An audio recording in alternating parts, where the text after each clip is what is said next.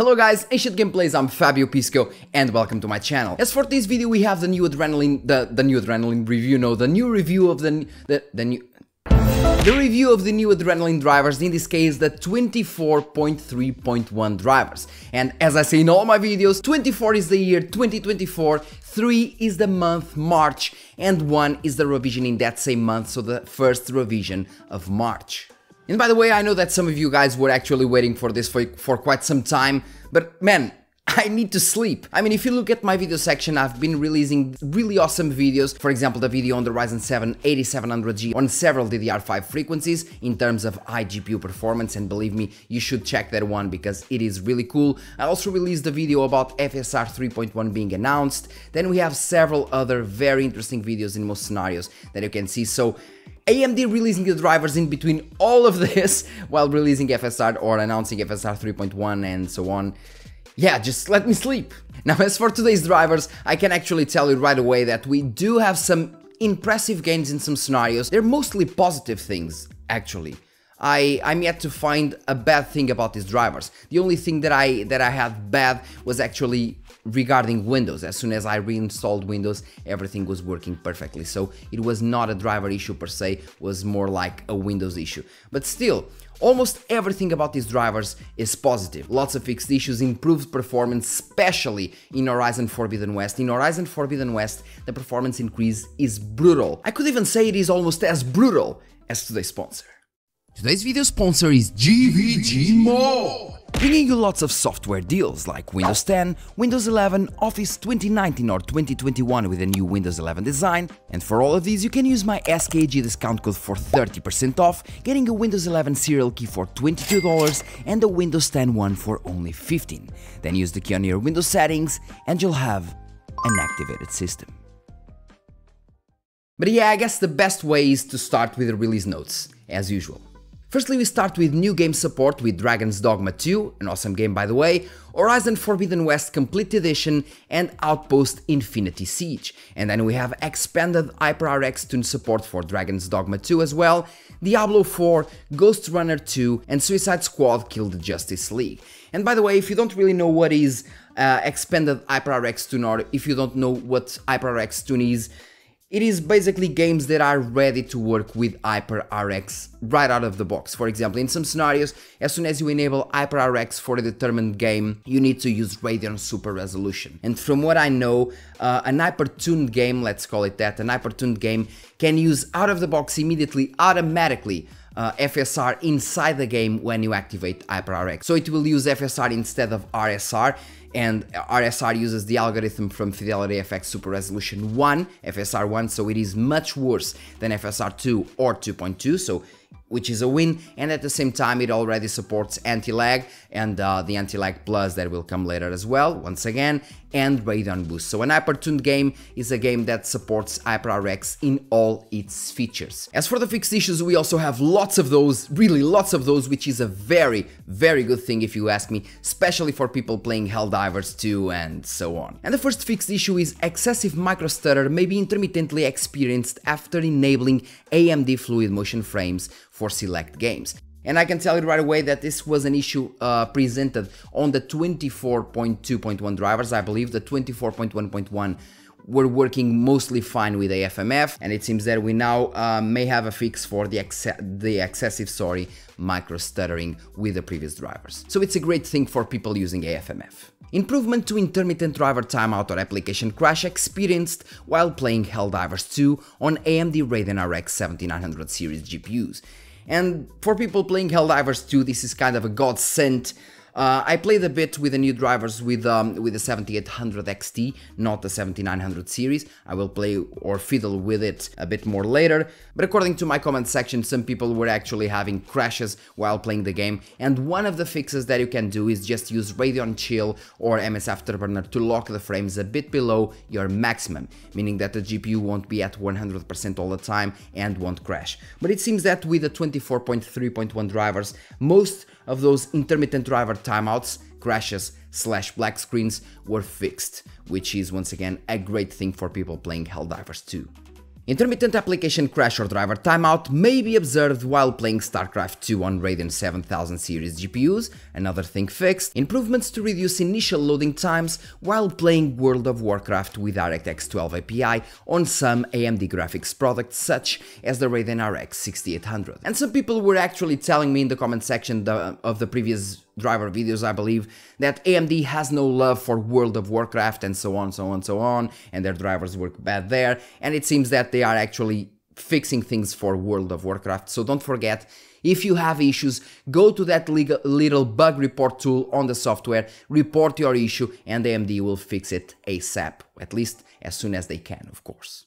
Purple corruption may be observed while playing Dying Light 2 Stay Human Reloaded Edition with Radeon Boost and Ray Tracing enabled. Some characters may appear invisible or have missing textures while playing Cossacks 3. Flickering lights may be observed while playing Space Engineers in certain indoor environments, and now this one is very important, the maximum memory tuning limit may be incorrectly reported on the AMD Radeon RX 7900 GRE graphics products. First of all, I believe that AMD says that it is incorrectly reported, but no, it was just basically locked. AMD locked the VRAM frequency on the um, on the GRE, on the 7900 GRE.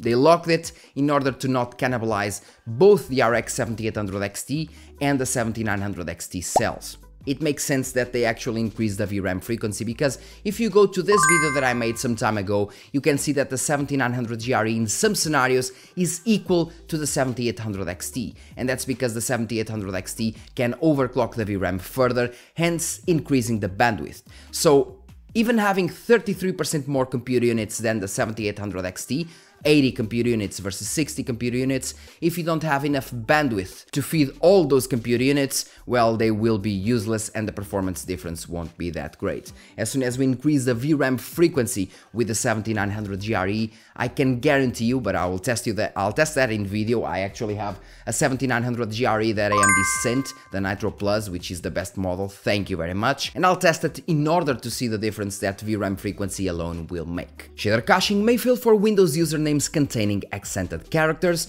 FPS performance metric may incorrectly report values while a game is minimized, GPU acceleration may be missing slashed grayed out in Adobe Premiere Pro on some hybrid graphics configuration, and the last fixed issue is performance drop may be observed while using some DirectML workloads in Topaz AI. But as I always say, well, this isn't all cotton candy and unicorns and rainbows and pots of gold as well, of course. So we still have the known issues with the first one being intermittent driver timeout or application crash may be experienced while playing Helldivers 2 on dual monitor setups on some AMD graphics products such as the Radeon RX 7900 XTX. So although Helldivers 2 players can actually rejoice with way less driver timeouts, they still will have some issues. They might happen. It is not this is not saying that it will definitely happen, but in some configurations, especially dual or triple monitor configurations, they might still have some issues with the RX 7900 XTX, which is a bummer, but if AMD actually acknowledges it, it will get fixed as soon as possible.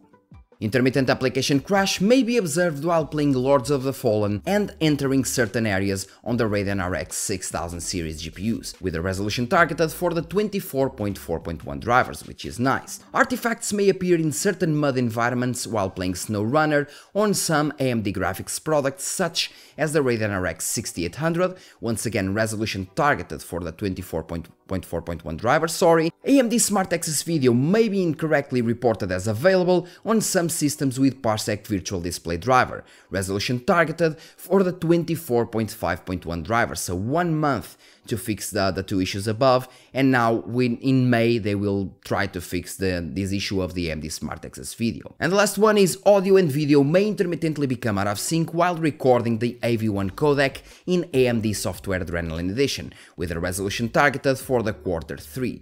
As they said before on the previous drivers, the resolution was still aimed at the quarter 3, so it is more or less the same. And with the release notes done, let's go to the things that I found, the goods and the bads that I found with these drivers. And before going into this, remember that you can help this channel once again by going and watching to the sponsor. Today's video sponsor is GVG Mall bringing you lots of software deals like Windows 10, Windows 11, Office 2019 or 2021 with a new Windows 11 design, and for all of these you can use my SKAG discount code for 30% off, getting a Windows 11 serial key for $22 and a Windows 10 one for only 15. Then use the key on your Windows settings and you'll have an activated system.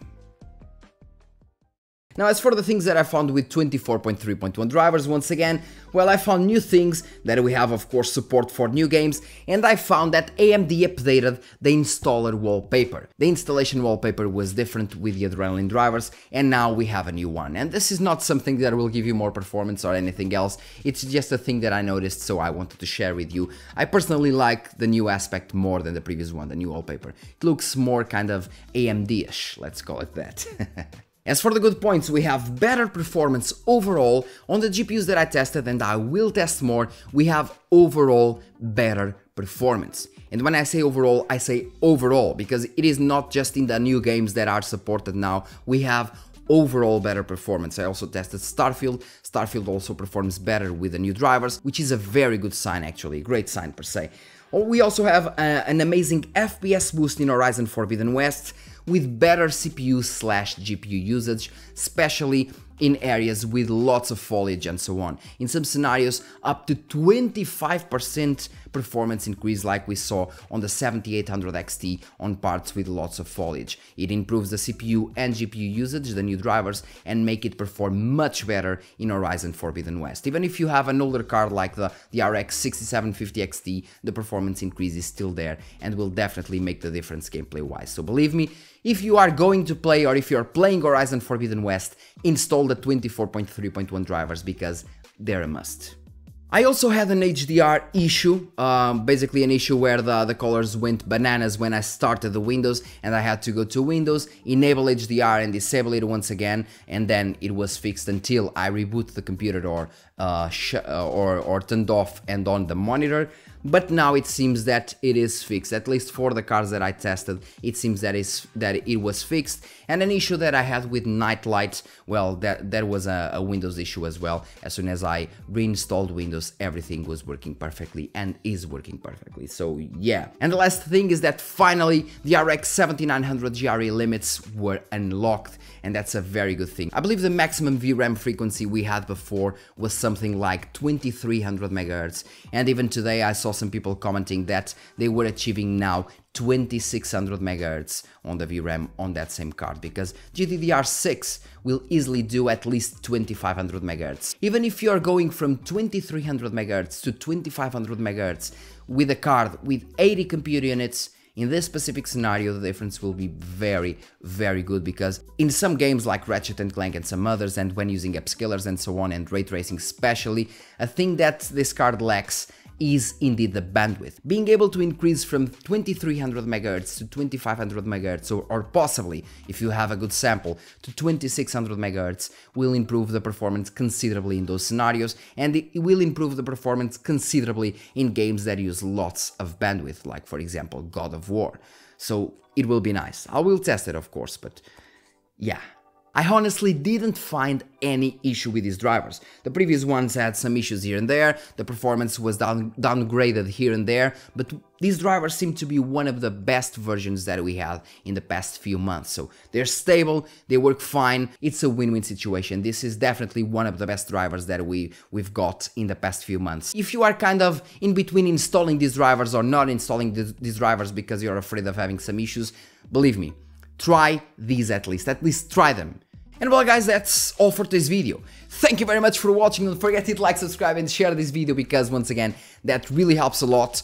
Leave your comment in the comment section, let me know, me and us, the community, know your experience with these drivers, if your experience is great, if those drivers, if these drivers are working fine or not just let me know, I really want to know. Also, don't forget that we have the performance comparisons with the RX 7800 XT and the RX uh, 6750 XT in Horizon Forbidden West and Dragon's Dogma, and also, uh, yeah, Starfield as well. And don't miss the next videos because they're gonna be really interesting, with the first one being 40 games tested at 4K with the RTX 4080 Super. Then we'll have the RTX 4080 Super versus the 7900 XTX, and after that, after me retesting once again and uh, the, uh, the RX 7900 GRE uh, will also deliver some tests, for example, of the RTX 4070 Super versus RX 7800 XT versus RX 7900 GRE. So stay tuned, very interesting videos will come.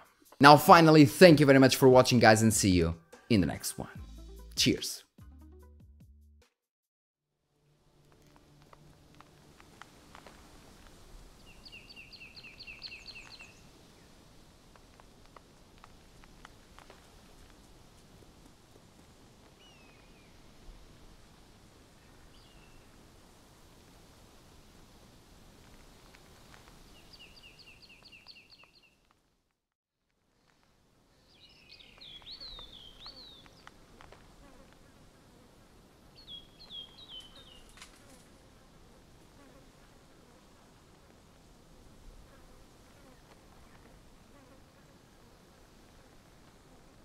Perhaps this has no bearing on the matter, but might I add, ought we not...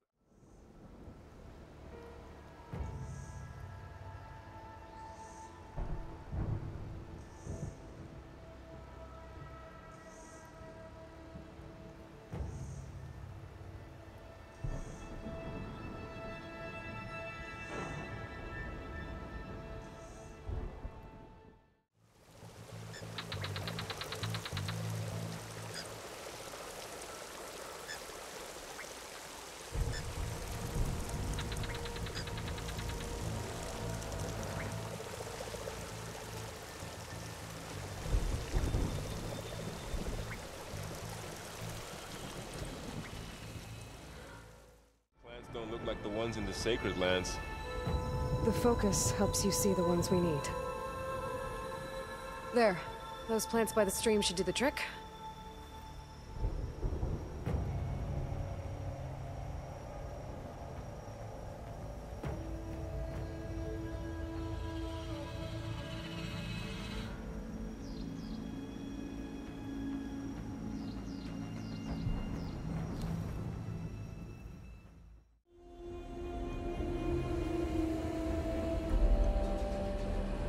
Construction is a dead industry, Chief Pretorius.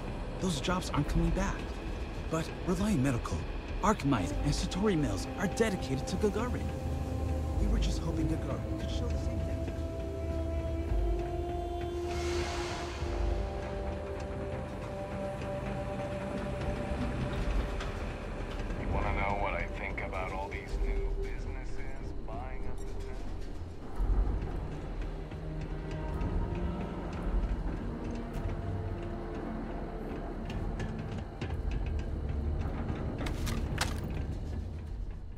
Gagarin,